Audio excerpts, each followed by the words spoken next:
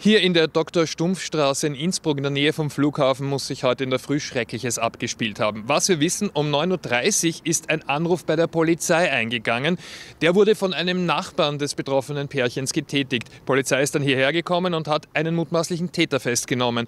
Und äh, was der getan haben soll, lässt einem wirklich die Haare zu Berge stehen. Scheinbar hat der 59-jährige Serbe mit seiner 50-jährigen Lebensgefährtin einen derart fürchterlichen Streit gehabt, dass er zu einem Küchenmesser gegriffen hat und sie damit attackiert attackiert hat. Die Verletzungen der Frau, die waren so immens, dass sie ihnen zum Opfer gefallen ist. Äh, die Einsatzkräfte, die kurz nach 9.30 Uhr hier eingetroffen sind, die haben noch versucht, die Frau zu reanimieren. Leider erfolglos. Daraufhin ist der mutmaßliche Täter natürlich festgenommen worden. Er wird aktuell auch verhört und äh, die übliche Polizeiarbeit, die läuft jetzt ab. Soweit wir erfahren konnten, wird heute auch noch eine Obduktion am Opfer vorgenommen. Das Tatmotiv, also der eigentliche Grund für den Streit, ist bislang völlig unbekannt.